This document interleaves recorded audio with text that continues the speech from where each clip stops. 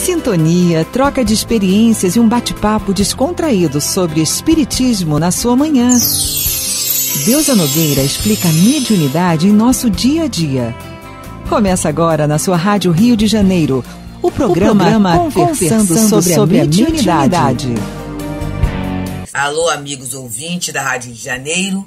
Meu nome é Deusa Nogueira e estamos nós conversando sobre a mediunidade. Estamos ainda naquele capítulo 31.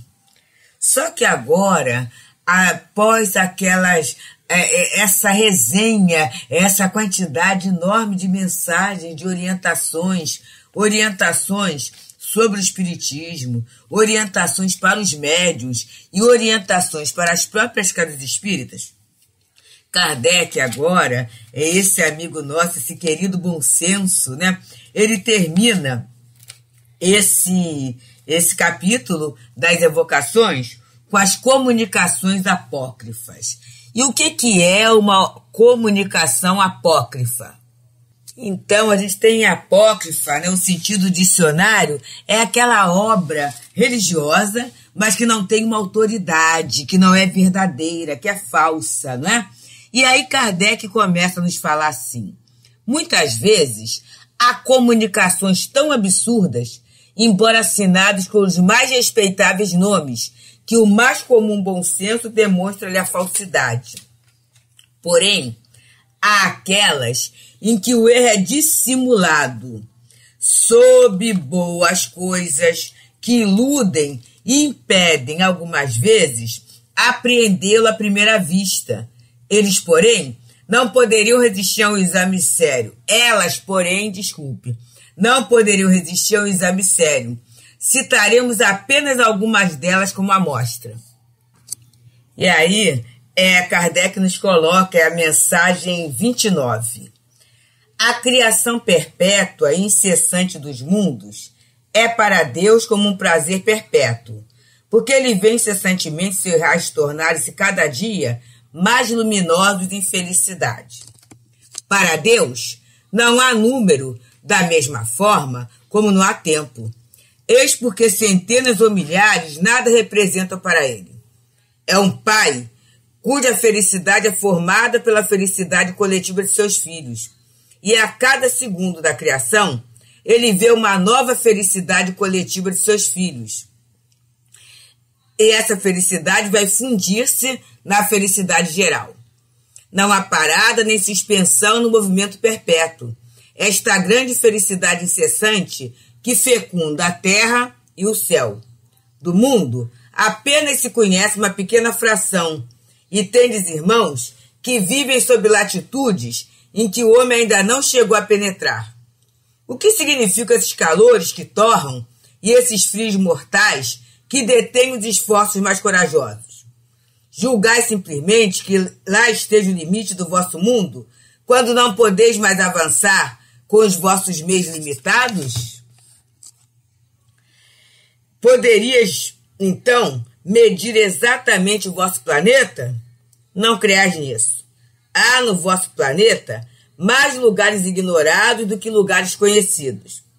Mas, como é inútil propagar ainda mais todas as vossas mais instituições, todas as vossas leis mais, ações e existências, Há um limite que vos detém, aqui e ali, e que vos deterá, até que tenhas transportado as boas sementes que o vosso livre-arbítrio produziu. Oh, não! Não conheceis este mundo que aqui chamais terra. Vereis através dessa comunicação um grande início de provas de vossa existência. Eis que vai soar a hora em que haverá uma outra descoberta diferente da última que foi feita. Eis que o ciclo da vossa terra conhecida vai se alargar, e quando toda a imprensa cantar essa hosana, em todas as línguas, vós, pobres filhos, que amais a Deus e que buscais sua voz, tereis sabido, antes mesmo daqueles que darão seus nomes à nova terra. É uma mensagem né, que foi assinada, atribuída a Vicente de Paulo. E aí, Kardec, nosso codificador, coloca uma nota assim. Do ponto de vista do estilo, esta comunicação não suporta a crítica. As incorreções, os pleonasmos, os volteios viciosos saltam aos olhos de qualquer um, por menos letrado que seja. Isso, porém, nada provaria contra o nome com que é assinada. Dadas essas imperfeições, poderia ocorrer em função da insuficiência do médium, assim como já demonstramos. O que de fato é do espírito é a ideia. Ora, quando ele diz que há mais lugares ignorados no vosso planeta do que lugares conhecidos, o novo continente vai ser descoberto, é para um espírito que se diz superior dar prova da mais profunda ignorância. Sem dúvida, pode-se descobrir, para além das regiões glaciais, alguns cantos de terra desconhecidos. Mas dizer que essas terras são povoadas e que Deus as escondeu dos homens, a fim de que não levasse para lá suas más instituições, é ter fé demasiada na confiança cega daqueles a quem ele ministra semelhantes absurdos. E o nosso, né, codificador, ele no capítulo 24 de O Livro dos Médiuns, ele coloca, né, alguns tópicos, alguns itens para a gente reconhecer a qualidade dos espíritos. Aqui, essa licença de Paulo está bem claro, né? Inclusive, assim, essa forma de atiçar a curiosidade para descobertas, para essas questões todas, é bem estranho, né? Mas ele vai dizendo aqui: primeiro, não há outro critério para discernir o valor dos bons espíritos senão o bom senso. Qualquer fórmula dada para esse efeito pelos próprios espíritos é absurda e não pode emanar de espíritos superiores. Então, gente, não, porque não é por nada externo, né?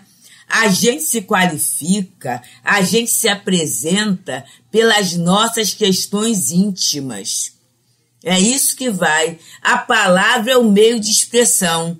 Mas já viu que às vezes a palavra ela é bem posta, mas tem um jeito, tem um quê, tem algo que a gente fala assim, interessante, isso aí não está bem. Não é assim? E aí, segundo item, julga-se os espíritos pela sua linguagem e pelas suas ações. As ações dos espíritos são os sentimentos que eles inspiram e os conselhos que dão. E aí a gente tem um fator muito interessante que é a utilidade. Lemos essa mensagem. Qual é a utilidade que deu? Eu tenho certeza que quem não conhece vai ouvir aquilo tudo e no final ficou o quê? Ficou o quê para ajudar a criatura? Ficou o quê para a criatura refletir, pensar, meditar? Ficou o quê? Apenas um conjunto de palavras, né?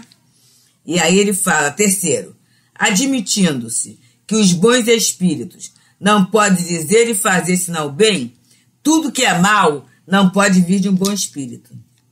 Quarto, os espíritos superiores têm uma linguagem sempre digna, nobre, elevada, sem qualquer mistura de trivialidade. Tudo dizem com simplicidade e modéstia, jamais se vangloriam, nunca fazem alarde do seu saber, nem de sua posição entre os outros. A dos espíritos comuns, inferiores, apresentam sempre algum reflexo das paixões humanas. Toda expressão que denote a baixeza, a presunção, a arrogância, a jactância, a acrimônia, é um indício característico de inferioridade e de mistificação. Se o espírito se apresenta com um nome respeitável e venerado.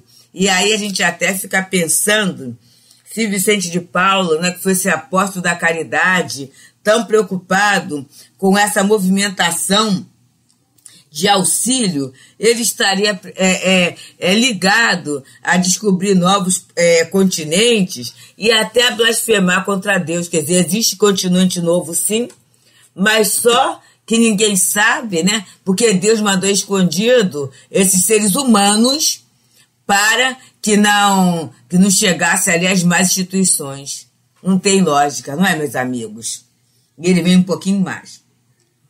Não se deve julgar os espíritos pela forma material e a correção de seu estilo, mas sondar-lhe o sentido íntimo, escutar suas palavras, pesá-las friamente, maduramente, sem prevenção. Eu estou falando assim, escrutar, escrutar quer dizer medir mesmo, né? Todo afastamento da lógica, da razão e da sabedoria não pode deixar dúvida sobre sua origem, qualquer que seja o nome com o qual se ostente o espírito.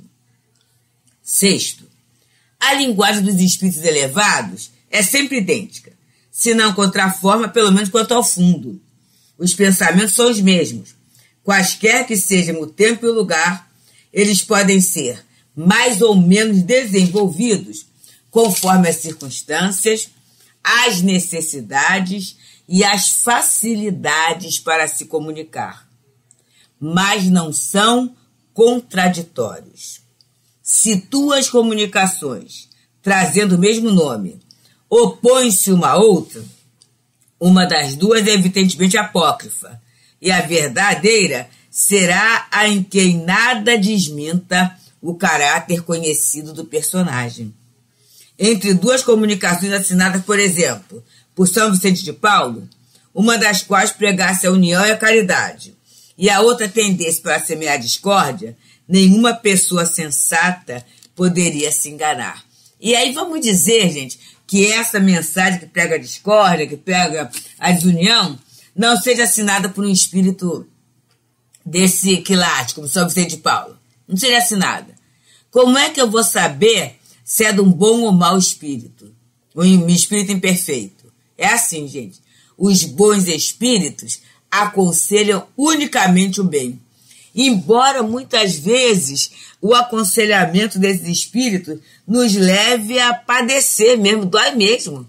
Dói, gente. Porque ser bom, ser ético, é, ser cristão, ainda desafia muitas das nossas paixões muito dos nossos comodismos. Então eles vão tocar em pontos que ele vai falar assim: ah, mas será que é? E não é será que é pela identidade, não. Será que é? Porque vai dar trabalho. Já vimos alguma vez o bom espírito aconselhar descanso, férias, né? Do bem? Não. Tem até uma página que, se não me engano, está no livro Ideal Espírita em que é falado sobre as férias espíritas. E o espírito, eu acho que André Luiz, vocês me perdoem, né? É, férias espíritas, esse é o, é, o, é o título da lição. Eu fui pesquisar um instantinho, meus amigos, e essa lição Férias Espíritas está no livro Caminho Espírita. É uma, é uma mensagem de Albino Teixeira. E eu vou até ler para gente, só para a gente ver qual é o programa de férias que ele está dando. E para muita gente que está é, descansando, ou que está sem ter o que fazer, olha só. Dedicamos aos companheiros espíritas algumas sugestões para o tempo de férias.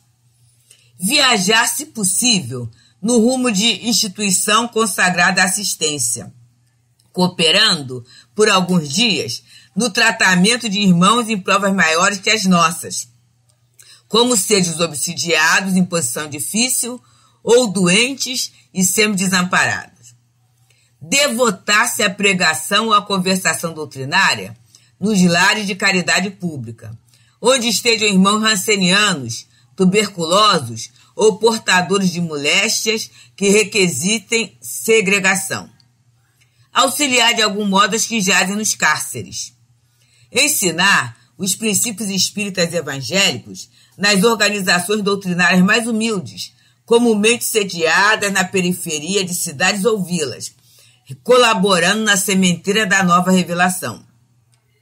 Executar um programa de visitas fraternas aos paralíticos, cegos, enfermos esquecidos ou agonizantes no local da residência.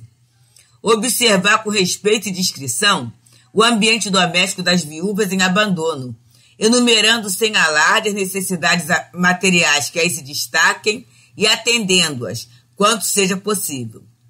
Contribuir com algum serviço pessoal para a segurança e conforto do templo espírita que nos beneficiam, quais sejam a pintura ou renovação de paredes, a restauração de utilidades, a reparação de livros edificantes ou tarefas concernentes à ordem e à limpeza em geral.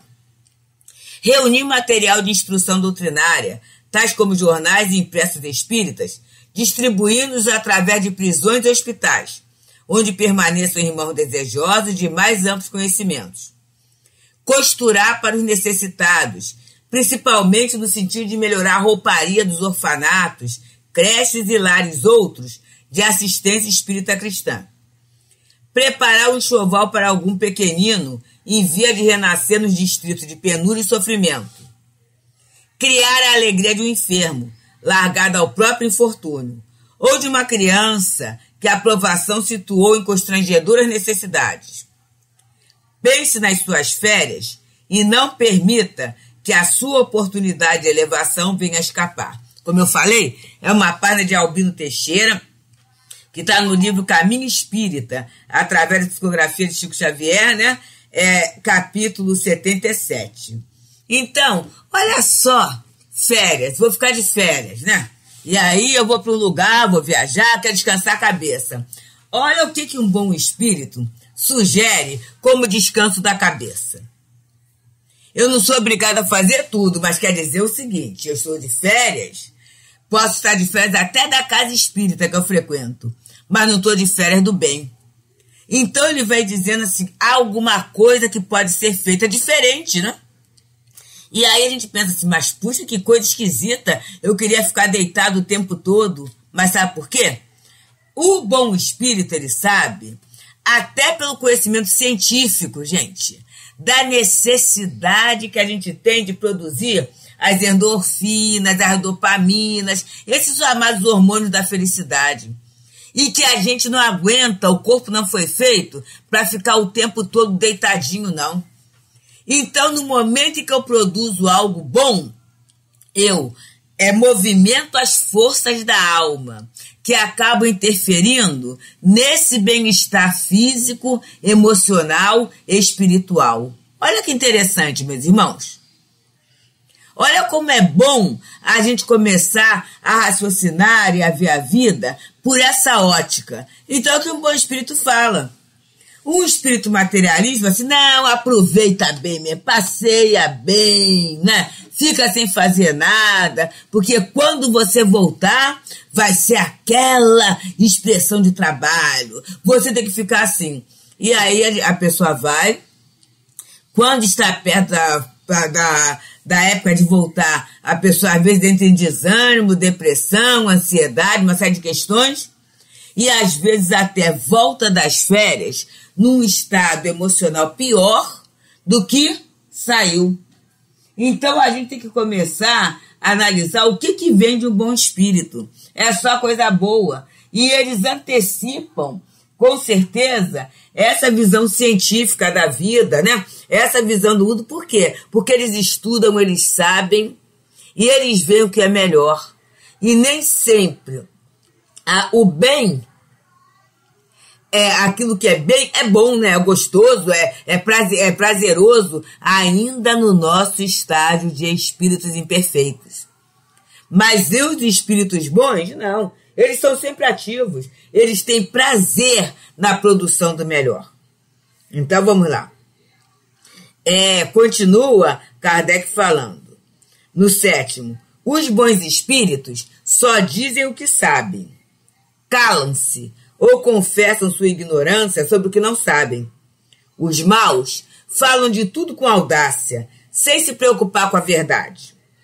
Toda heresia científica notória, todo princípio que choque o bom senso, demonstra fraude. Se o espírito se apresenta como um espírito esclarecido. E até hoje, no nosso mundo mesmo, né? Que coisa bonita é a criatura fala assim: Eu não sei, não. estou pesquisando, ou muitas vezes até encaminhar para uma outra pessoa que tem aquele conhecimento. Não é? Isso é ético, isso é moral, é cristão. Né? Oitavo, reconhece-se ainda os espíritos levianos pela facilidade com que predizem o futuro e precisam fatos materiais que não nos é dado conhecer. Os bons espíritos podem fazer as coisas futuras serem pressentidas, quando este conhecimento pode ser útil, mas nunca precisam datas. Qualquer anúncio de acontecimento em época fixa é indício de uma mistificação. Cuidado, né, gente? Daqui a pouco chega o final do ano, mês de dezembro, e começa com as previsões catastróficas, que tem gente até que anota. E essa questão da anotar é muito interessante, que quando eu escrevo, eu mexo com estruturas neurais e, na verdade, eu acabo vibrando para que aquele fato se tenha. E muitas vezes não era nada para ser assim. Mas em função da minha vontade, do meu livre-arbítrio, da condução da minha vida, as coisas acabam acontecendo daquele jeito. Aí vem o nono. Os espíritos superiores se exprimem com simplicidade sem prolixidade. Prolixidade é falar muito. O estilo deles é conciso, sem exclusão da poesia, das ideias, das expressões.